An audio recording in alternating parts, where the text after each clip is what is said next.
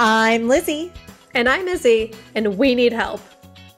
Each week, we stumble through a new book, method, or concept that brings us one step closer to being our best self. Yes, we make fun of ourselves. And others. But mostly just ourselves. So here's to not taking self help quite so seriously. Welcome to We Need Help. I'm Lizzy. And I'm Izzy. And this week, we need to take control of what goes into our bodies.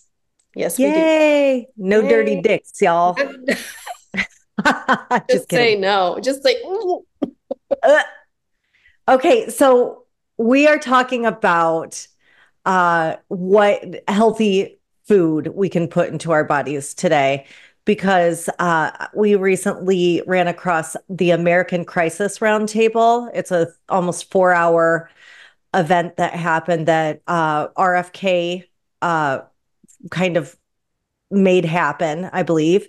And um, I wanted to just have a quick talk about what happens to um, us when we get overwhelmed with this subject and how we can kind of simplify it without arguing about politics, without uh, getting caught up in the details, and just making some major changes for our family without becoming overwhelmed.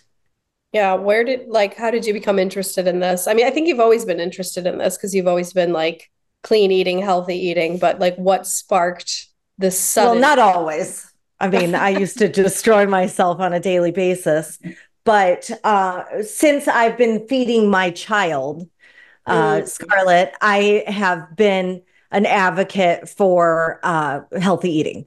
And so um, and I'm the weird one in the group. I know this, and I think it's time for us all to get weird. What do you mean you're the weird one in the group? Like none of your friends are like what do you, yeah, what does that mean? Now my friends, I've surrounded myself with the same kind of weirdos, but when your uh, tribe 13, yeah, 13 years ago when I was talking about gut health and stuff like that, people were like, oh my God, here she goes with gut health again, or here she goes with this, that, and the other thing. But I have kind of simplified it down to a couple of different things that you can change about your life that doesn't mean breaking the bank and doesn't mean an exuberant amount of time that you can put into or have to put into it to get some major change in your life because you know just to talk about a few things you know we can no longer and i don't care what side of the the aisle you're on we can no longer trust our government to protect us. And that is it. That like it's it's that's not our, our that's not an arguable point. We allow 10,000 uh additives into our food where europe where you are only allows 400 additives I know it's so funny. Um, when I was I was thinking about opening a steakhouse a few years ago, and I wanted like an American steakhouse, and I met with whatever the meat importers meat man here and i'm like i want to import some meat from the us and they're like there's only two places we can import from in the us because everything else will not pass eu standards because there's so many additives and i'm like are you kidding me it's, like I was it's shocked. really overwhelming. It's yeah. really overwhelming. So it's just we're at a we're at a crisis point because fertility is at an all-time low. And you know, for some of us that listen to this podcast, that's not a big deal until you look at it like you're not going to get grandchildren. You're not going to like you're the people the children that you love will not get to love a child because and that's a result of the additives in the food. That's a result of the additives.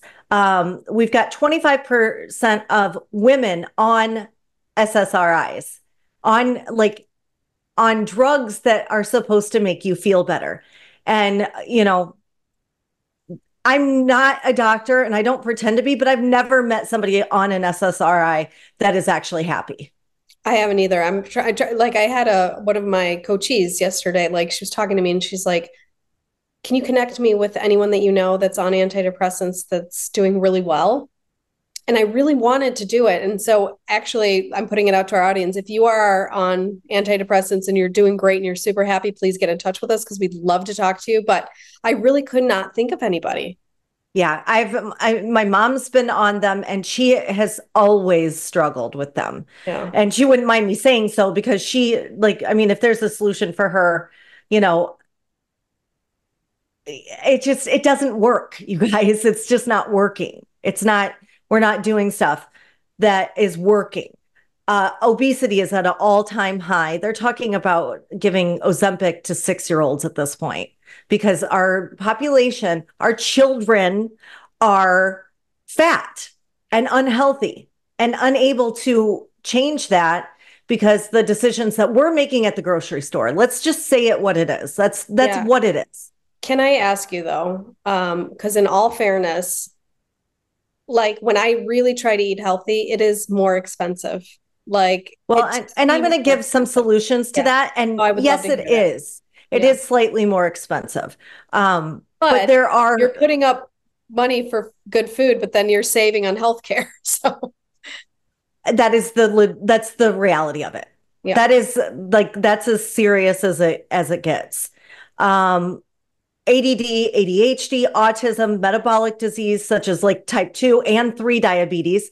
We we renamed type 3 di- or we we didn't acknowledge the fact that you know alzheimer's or uh, dementia excuse me dementia is a result of what we're eating it's proven and like if this doesn't piss anybody off then you haven't dealt with it but when you do watching your loved one die 10 years before they die is devastating yeah Parkinson's. I mean, this just goes on and on and on, and a, just a general unhappiness in our population. Yeah. And it's proven that, I mean, I don't like if you do science, that's fine. If you don't, if you're just like, you want to ignore it, it, the proof's in the pudding as well. Yeah. You know, we're just an unhappy, like, population right now. Yeah. Children and- are shooting up schools. Yeah and we're not like ready to make a decision to change what we're doing and I'm, sorry to get fired up about this but i just don't understand at what point are we going to stop being the victim of our own choices mm. yeah that's what this is because the information is out there. And if you choose not to look at it, you're part of the problem. And yeah. the fact of the matter is is the government isn't going to fix it for us. The only thing that we can do is vote with our dollar. Mm. And when we vote with our dollar, these people are going to go away because they don't do anything that doesn't make money. Yeah. So I wanted to. you're so funny because you're like, this isn't going to be political. it's not going to be political. well, it's not political because they're yeah. both they're both guilty. Yeah, all sides are guilty, but most of all, we're guilty because we've let this happen. We've seen every we've seen and we've villainized the word fat. We're not allowed to say it anymore. Right. Like, you can't fucking say fat now. Right. Now I I from a kindness standpoint, I would never call someone that. But the fact of the matter is, is we have a fat problem. We have a nutritional problem. We have a mental health problem. And it's something's got to change. And all, and the scientists are saying there are people out there that are saying that they're, if you watch that American Crisis Roundtable, they are screaming it into our ears and we're choosing not to listen. Yeah. Can you share it on our on our um yeah, story? I can, but I'm I'm frankly afraid because it doesn't get seen. When you mm. put it mm. on like I shared it on my uh Facebook and it just didn't get seen. I didn't see it. Yeah, I didn't see it. Yeah, it's crazy. Yeah, you so, sent it to me and then I, I sent it directly to you. And yeah. And I will say, I've talked to a lot of people and said, Hey, did you watch that? Well, I just don't have time to watch four hours. I'm sorry. Did you watch the latest Kristen Bell uh, thing on Netflix? You, but you don't have four hours to watch about yeah. what is happening to us, what is being done in our country to our children. Yeah. It's just, it's bizarre. So what are you like what are some of your suggestions? Because this is obviously a problem, but like someone who's super overwhelmed with work, bunch of kids, you know, like what to do, how to do it. Okay, so you can make a few changes. One, start making choices of things in the grocery store that have no dyes in them. No No, dye. red dyes, no no dyes at all.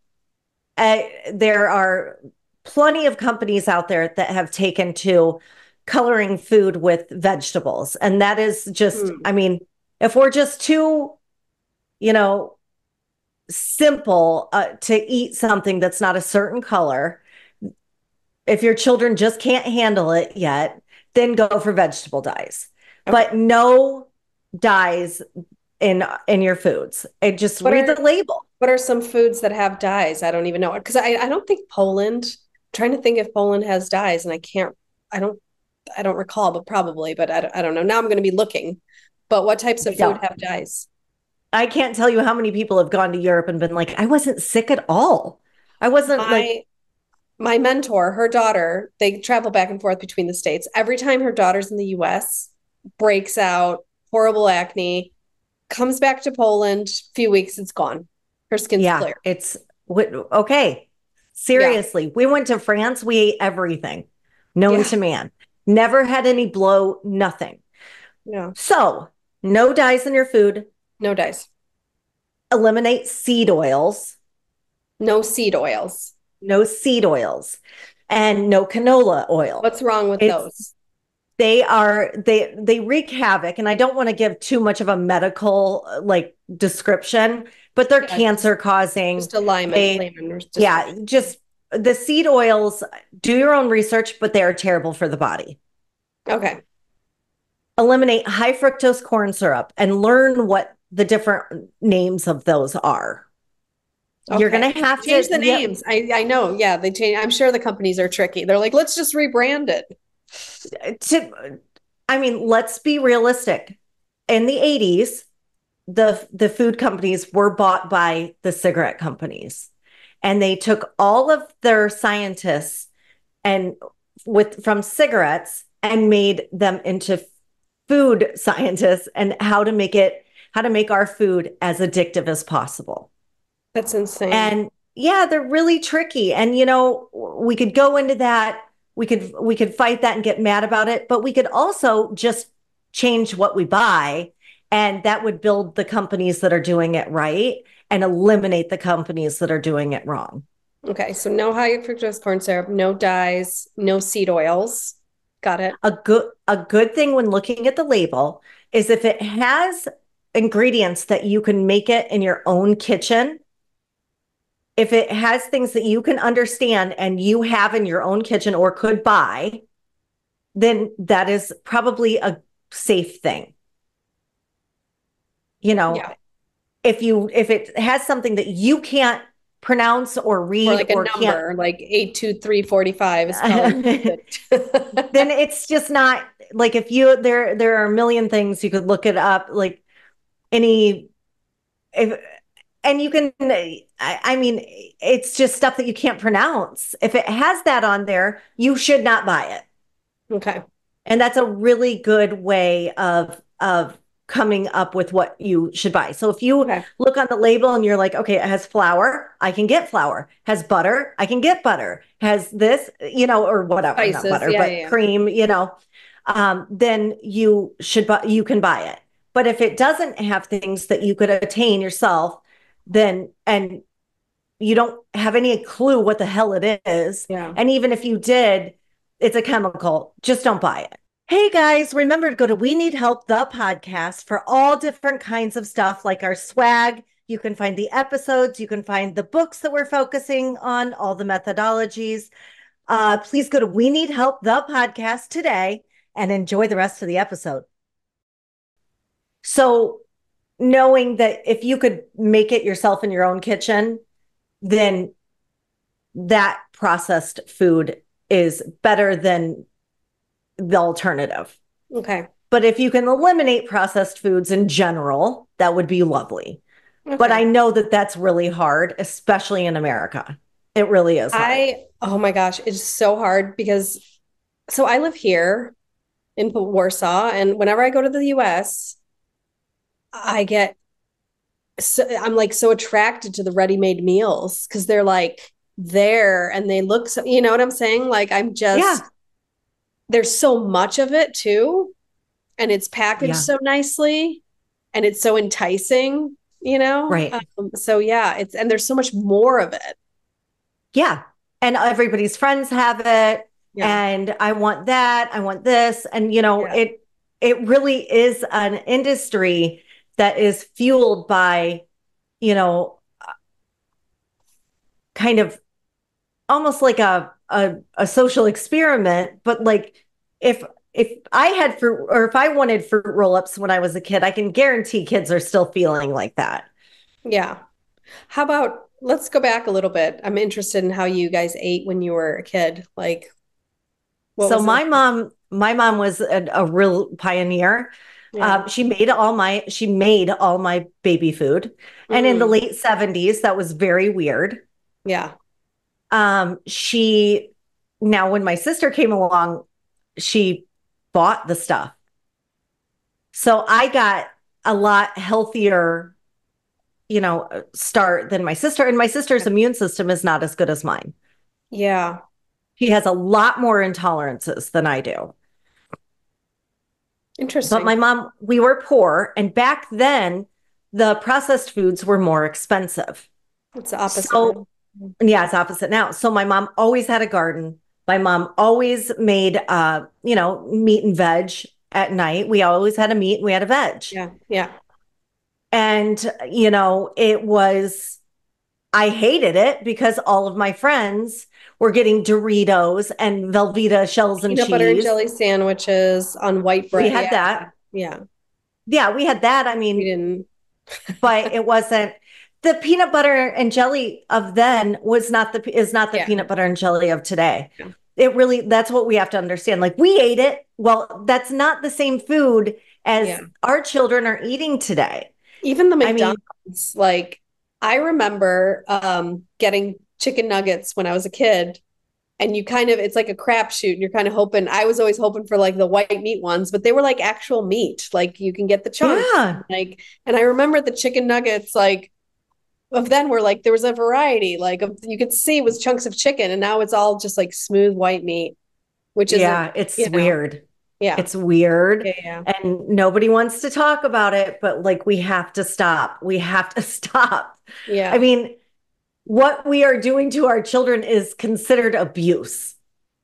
yeah. And I hate saying that because it's it, but I mean, if you are choosing to look away from this, you're choosing to make your child sick. Mm.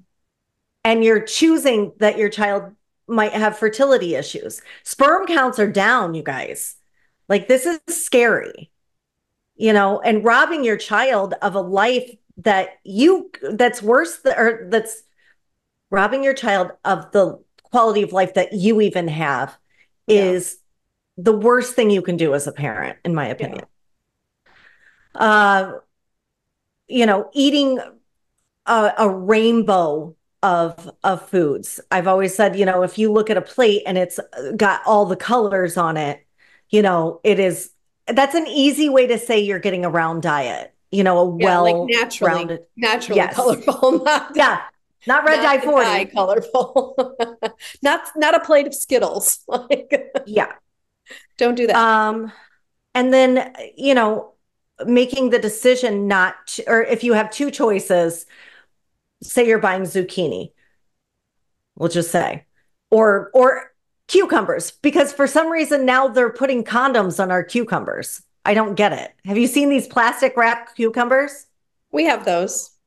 Okay. So if you have that decision and a cucumber that's not wrapped, get the uncondomed cucumber Okay, because unwrapped. that's gonna the unwrapped because it has the other one is wrapped in plastic that is just a decision and plastic and oddly in our bodies are not what not good they say 0.05% of our brains are have plastic that's gross. are plastic now Yeah. Yes, I know. It's like a forever chemical. We have yeah. to stop.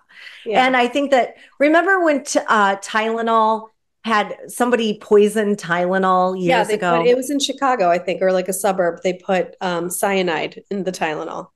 Okay, so after that, they started to like lock up everything and everybody got scared. Yeah. And we wanted everything to be in plastic and wrapped and made sure it wasn't tainted by somebody. Yeah, nobody has peer, put poison in this cucumber. Exactly. well, unfortunately, that made us all get poisoned. Yeah. I truly believe that that was like, like a Twilight a, Zone episode. That's like the most horrific. Like it won't stop. Yeah. Um. So you know, a, a few things that I did here, here, you know, and this started in St. Thomas more than here, but uh, I have a co-op in my house, and everybody can do this. And I have um, sourdough that's delivered for me and about ten of other households. So uh, a girl, uh, her name, or she's Sunshine Sourdough. She gets her flour from Italy, so it's not sprayed with bullshit. And so she delivers sourdough bread to the house. I have uh, Nikki, my egg lady. She delivers duck and chicken eggs that are feed fed organically. Yeah. And live a wonderful, happy life where they're not in getting, you know, abused.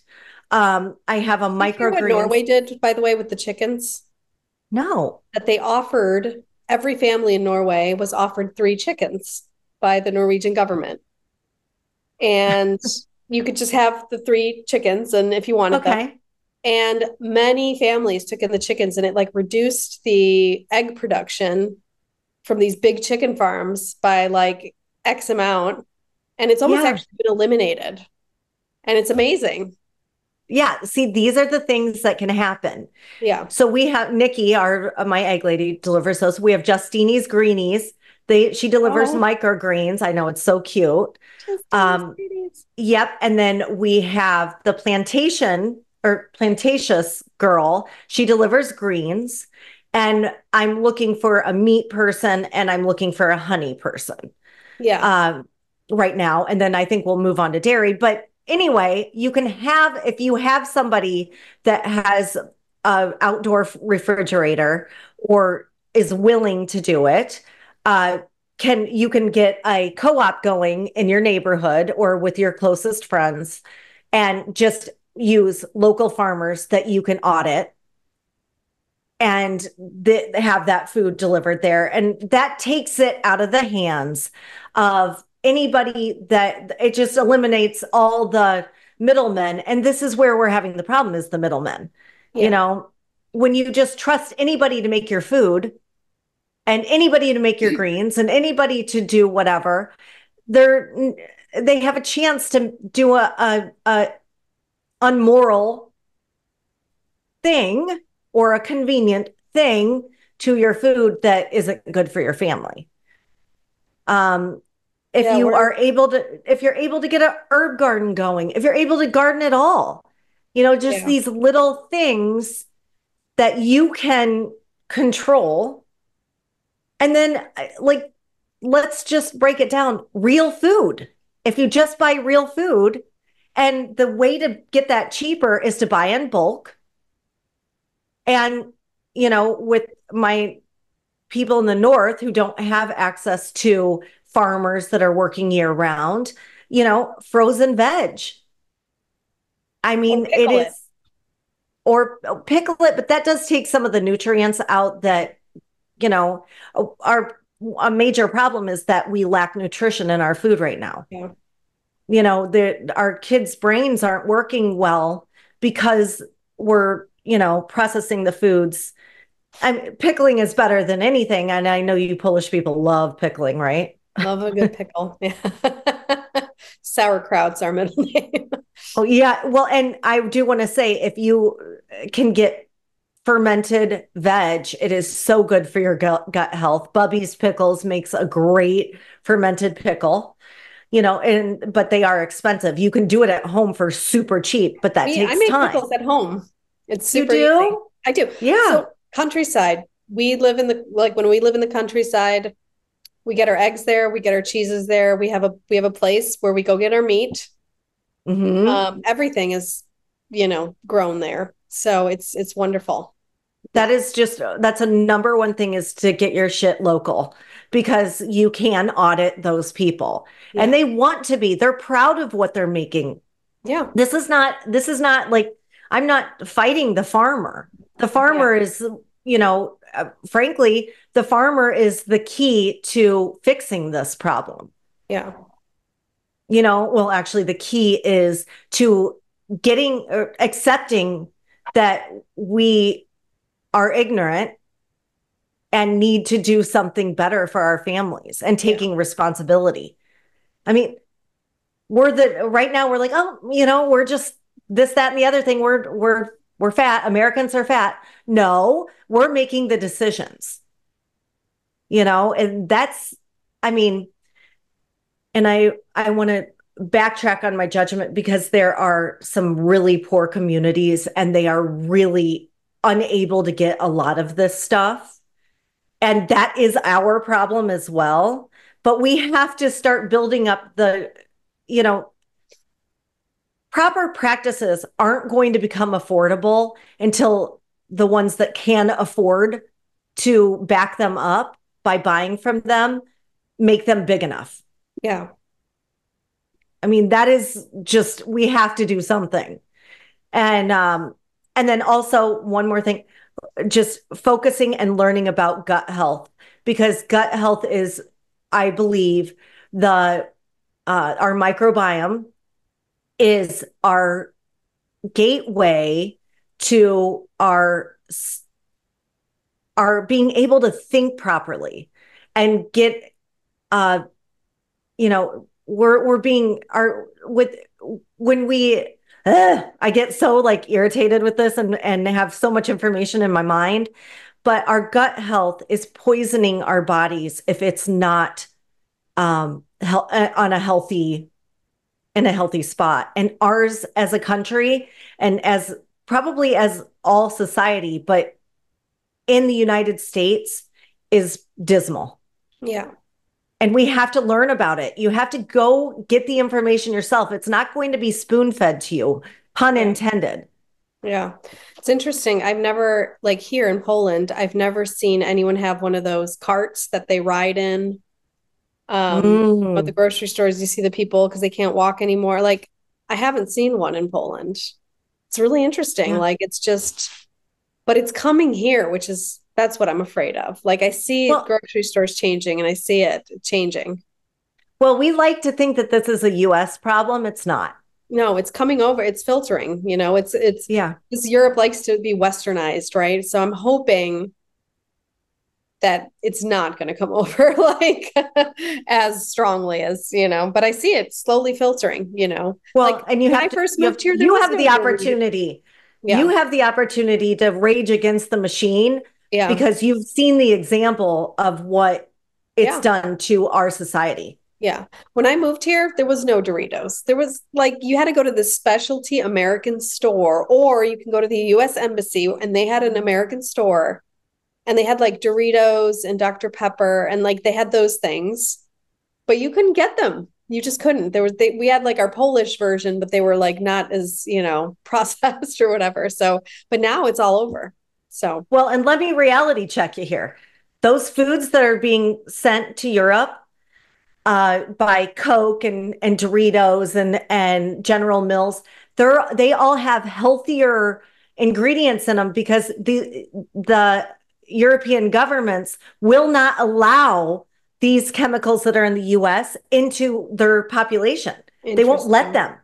It's scary. We already have we already have so we go to Scarlett and I go to World Market and we'll find uh you know because it tells you where it's from and we've we've gone and compared she's like she's so educated educate your children too when you're educating yourself educate your children Yeah. but we'll look at the different ingredients lists and it's insane what how long the list is for the American versus the French or the Yeah. Japanese or you know it's it, you know it's not really that hard, but you have to set down that beautiful ignorance that we're all comfortable with.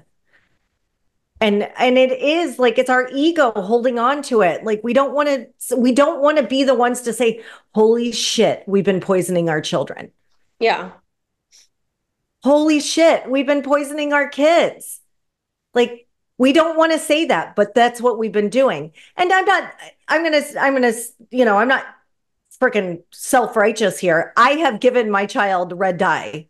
I have given her Skittles. Yeah. You know, I have, I have done these things.